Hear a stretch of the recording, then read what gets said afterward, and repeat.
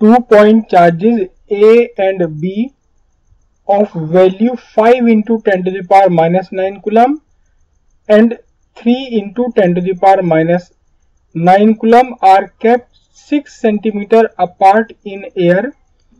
Calculate the work done when charge B is moved by 1 centimeter towards charge A. हम एक general formula बना लेते हैं। General formula बना लेते हैं, देखो। ये दो चार्जेस हैं। ए और बी पर रखे हुए हैं। चार्जेस Q1 और Q2 हैं। और दोनों के बीच का डिस्टेंस है स्मॉल डी दोनों के बीच का डिस्टेंस स्मॉल डी है। तो फिर इनकी पोटेंशियल एनर्जी कितनी हो गई? इनकी पोटेंशियल एनर्जी हो गई one by four pi epsilon nought Q one Q two upon D joule. और फिर आपने क्या करा? इसमें से किसी एक को खिसका दिया। कितना डिस्टेंस खिसका दिया? एक्स डिस्टेंस खिसका दिया आपने। तो अब फाइनल पोटेंशियल एनर्जी कितनी हुई?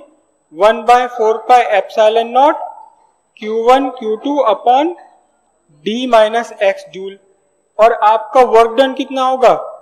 वर्क डन हो जाएगा final potential energy minus initial potential energy final potential energy initial potential energy में से Q1 Q2 upon four pi epsilon nought common आ गया। One by D minus X minus one by D ये आपका change आ गया। यहाँ आपको D भी गिवन है एक्स भी गिवन है क्यू वन क्यू टू सारे गिवन है।